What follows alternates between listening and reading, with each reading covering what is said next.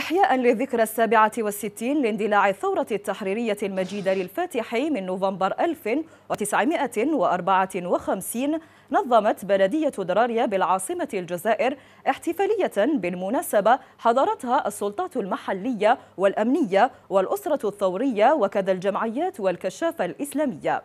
الاحتفال تم بإشراف كل من الوالي المنتدب ورئيسة بلدية دراريا على إطلاق اسم الشهيد محمد الطاهر حايد على الملعب البلدي لبلدية دراريا.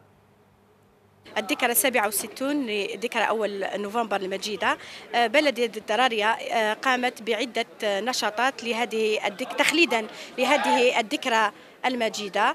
آه، كما تم بالمناسبة تدشين عدة منشأة رياضية باسم شهيد. هذا شرف ليا هذا شرف ليا بزاف بزاف. من بعد قلت لك واحد 67 سنة يديروا الملعب على اسم بابا. خالدة.